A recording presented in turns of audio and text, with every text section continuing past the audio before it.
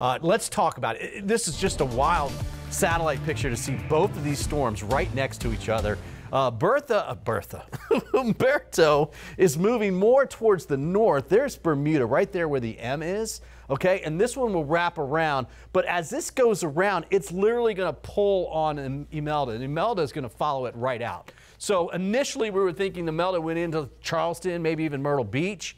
Uh, and, and, in fact, the Hurricane Center's first forecast had it stalling. It was here one day, and then 12 hours later, it was right on the coast. That would have been a huge amounts of rain.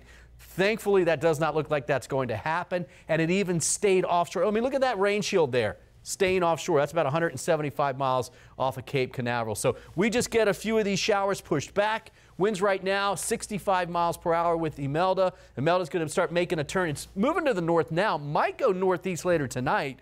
But certainly during the day tomorrow, it goes northeast and east northeast. But that takes it towards Bermuda with 90 mile per hour winds by Wednesday. So it looks like they, they've been dodging everything this year. Looks like they may have to deal with this one.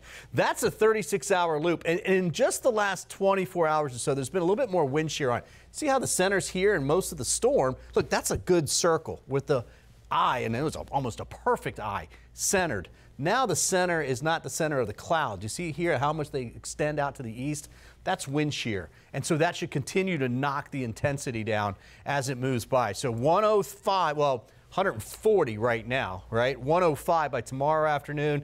Uh, Wednesday afternoon, it's 85 as it's going around. Okay, so that will give them some wind and some rain, but not those high numbers. Now, the wind, this is tomorrow, and that's why I say that northeast coast of Florida will get their most wind tomorrow. It's not terrible, but again, gusts in the 30s. Then by Wednesday afternoon, it's pulling away. Now, I will show you this. Look what happens for us Thursday. It's not a lot of wind, but we'll call it breezy Thursday and Friday right, with east to northeast winds, that's an area of high pressure building into the north. And there may even actually be a low develop here and track off west across the Gulf. We'll keep an eye on that for you. And the rain, dodged another bullet there. The heaviest numbers will stay just off the east coast. We'll get a few passing showers.